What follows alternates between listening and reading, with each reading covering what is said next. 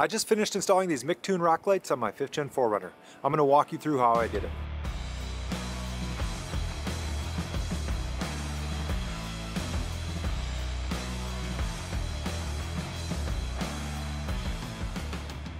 A project I've been looking forward to completing yet this spring was installing rock lights on the 4Runner. Mictune was nice enough to send me these C2 RGB rock lights. I'm going to walk you through everything that's included in this kit as well as detailed instructions on how to install them. All right, let's take a look at everything that's included in the C2 Rocklight kit, starting with the lights themselves. I'm going to be mounting eight of these on my 4Runner today.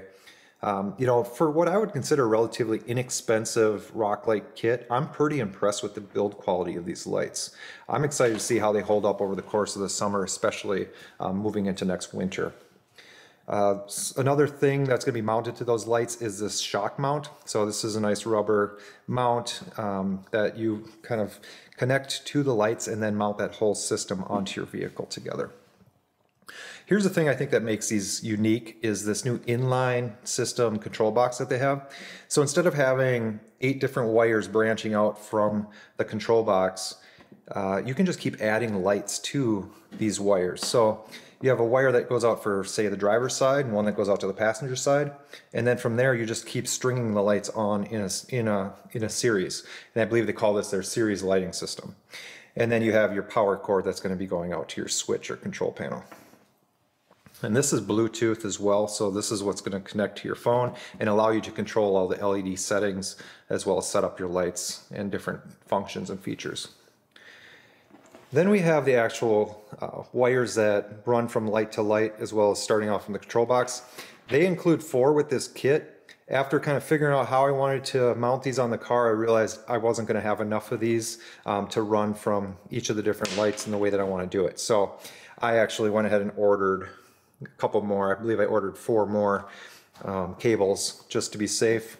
And, uh, you know, I think take a look at how you want to mount them on and the distance between, and that'll let you know if you need a, a few extra.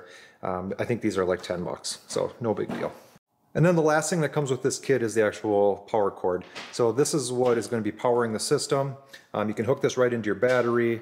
You know, it has an inline fuse. It also comes with its own switch, which seems like a nice quality switch. I'm going to be installing this a little bit differently. I'm going to be leveraging my Garmin power switch. I'm going to be removing their switch and just tapping these wires right into my Garmin power switch for the power source. So that kind of wraps up everything that's included in the kit itself. Now I want to talk about how I'm going to be mounting this to the vehicle. So I had to kind of come up with my own mounting system and you know I did a lot of research on YouTube and you know there's different ways to do this. I found these relatively inexpensive brackets on Amazon and they already have these nice channels built right into them. And they're almost the perfect length for the rock lights. I just needed to grind out about another eighth of an inch and then the rock lights bolt to these just beautifully. So this is how I'm going to be actually mounting these to the vehicle. Um, the way I'm going to be mounting these onto my vehicle is I found this self-tapping drill bit from Milwaukee that allows me to um, create tapped holes in both my rock sliders as well as the frame or other parts of the vehicle that are metal. So I can just bolt these right to the vehicle um, using some stainless steel hardware. So as we move out to the vehicle, uh, the first thing I need to consider is where I'm going to be starting this whole system from and really where am I going to be mounting this control panel. Now I looked all over the inside of my under my hood and I came up with a great solution as to where exactly I can mount this. I'm going to be leveraging this bolt right here and taking advantage of one of the brackets uh, that I have that I'm going to be using for mounting my lights as well. I'm going to rig up a little system where I'm going to be mounting this control panel right above the horn under the hood of the car. That'll keep it up and out in case I um, encounter any water or weather and it'll also provide a nice clean look and a central location for me to then start branching off um, the inline wiring system. Now when you're considering where you're going to be mounting your rock light, there's kind of a couple different things to think about. What you're going to be actually using them for. A lot of people mount them in the wheel well and you know in each of the corners or right dead center. And what that does basically is it lights up your suspension, lights up the wheel well, but it doesn't light up the trail. So it's really mainly for show. I want this to be more of a functional um, system as far as the lights go. So I'm actually going to be drilling a hole into this bracket that attaches to my low pro bumper. and mounting my bracket here in the front. And what that'll do is shine a nice amount of light right down on the surface and around that front tire. And then directly behind that, taking advantage of the rock sliders, I'll be drilling a hole right here into this steel as well and tapping that and mounting my bracket. And as we move around to the back, I'll be doing the same thing on the rock slider right in front of the rear tire in this area here. And then again, underneath the vehicle in the far back, I've actually started in here and in the frame itself, I've tapped a hole. And you can see there's a bolt in there right now. That is where I'm going to mount the rear bracket. And I wanted to make sure I was clear of the spare tire where that comes up. And this is just seems to be a really great spot. All right, we're going to go get started. All right, so here's the setup I came up with with my brackets. And I'm just going to show you how to assemble this. So first take your light, obviously attach it to your shock mount, and then these provided bolts slide through both of those, and you can see it still has quite a bit of bolt coming out the other side to attach to some kind of a bracket. So then I take my bracket, and you can see how perfect that channel in the bracket fits it just goes edge to edge. So I did have to grind out about another eighth inch on this bracket like I mentioned earlier, um, and then just hit it with some truck bed liner paint and it was good to go and it looks nice and factory. So from there, they don't provide lock nuts or lock washers. So I'm gonna actually, for the final install, be putting on Loctite just to make sure these don't come loose. But using these fender washers and these nuts, we will finish up mounting this onto the bracket. And then from there, how we're going to be mounting that on the truck, like I mentioned, we're going to be tapping holes into the rock sliders and um, different parts of the truck and using the stainless steel bolt, lock, washer, and regular washer, just mount that right into the vehicle. So I'm going to get the control box ready to mount. Um, I'm going to be using one of these brackets like I mentioned, and I'm just gonna simply be bolting it to one side of this control box. So again, leveraging their provided hardware, I'm gonna take these two bolts and I have these stainless steel, a little bit thicker washers, these fender washers. And then I'm gonna be applying just a little bit of Loctite to this because again, there is no lock nuts or lock washers provided with this. So that should do the job and then simply just tighten down these bolts. And there you have it. My control box is now mounted to the uh, angle iron mount. This will run out to one side of the vehicle, this will run out to the other side, and then here's my power wire. This is ready to install under the vehicle. Now I'm going to be getting this power wire uh, prepped and ready to install. Like I mentioned earlier, we're going to be removing the switch so I just kind of peeled away here and saw what I was working with.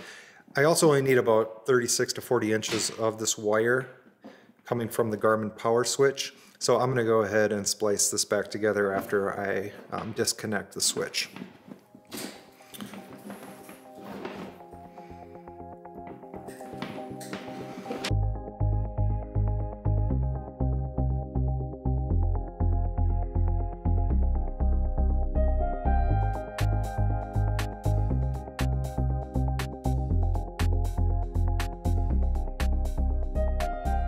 I have finished removing the switch, splicing the wires back together, cutting them to length, and then I went ahead and added some nicer ring connectors for my Garmin power switch. We're gonna go ahead and get this installed. All right, so now that we have kind of walked through how we're gonna install this, we're gonna get started. I'm gonna start on one of the rock sliders. Um, this is right behind the front passenger tire, and I'm gonna be mounting it right here. So I'm gonna start with a smaller drill bit and work my way up to the self-tapping drill bit and then I'll be able to bolt on the brackets.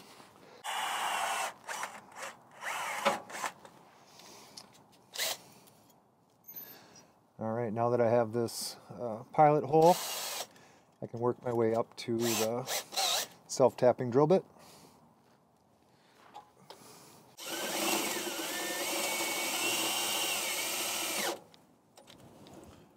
And then once you start to feel the threads go in, just kind of work it back and forth really slowly.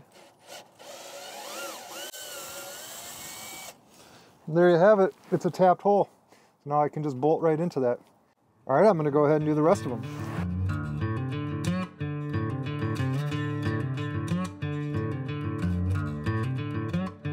All right, now that we've gone around the entire vehicle and tapped all our holes, we can go ahead and start mounting our brackets.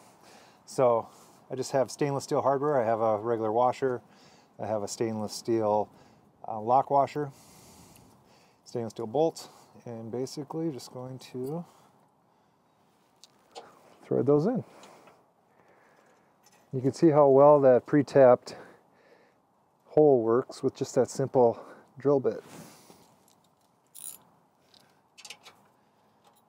All right, we're gonna go around the entire vehicle, mount all the brackets, and then we can start installing lights.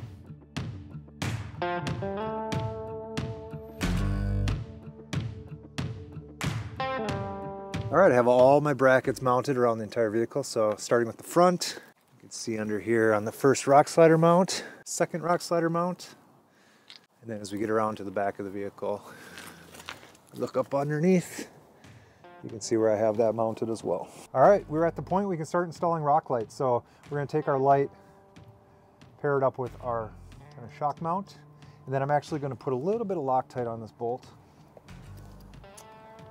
I'm gonna start running these up into the bracket. We'll do one at a time. Put on that fender washer, and then the nut. And we'll go with the second one again. Put some Loctite on here. Fender washer.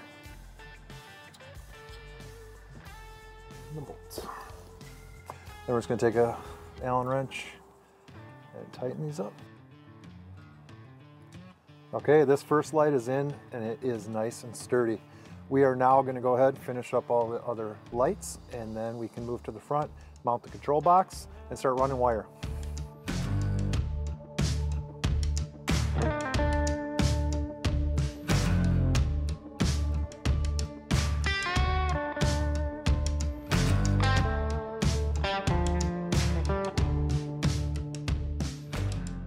I just finished installing all the lights under the vehicle. Now I'm gonna go ahead and get this control panel mounted here under the hood and then run the power cable around to my Garmin power switch.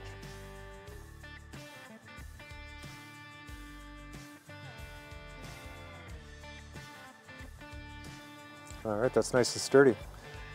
I'm gonna go ahead and get this wired up.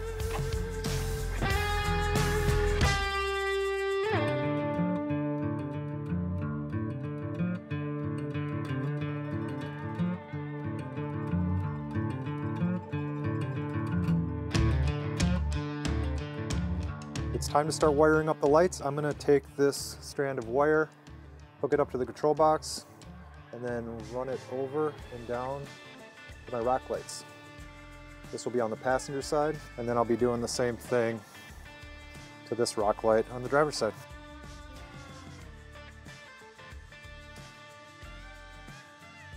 Before we go any further, I'm gonna give this a test. All right, we have power. Everything's working great. It's cycling through its kind of startup with all the different colors. We're gonna go ahead and wire up the rest of the lights.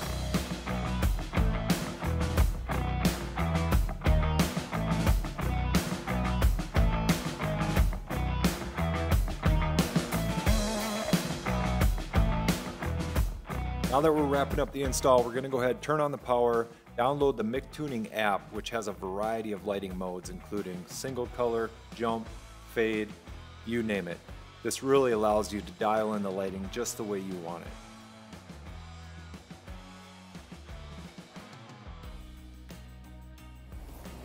That wraps up the installation of these C2 rock lights. I'm really impressed with how this project turned out, how easy they were to install, and I can't wait to get them out on the trail this summer.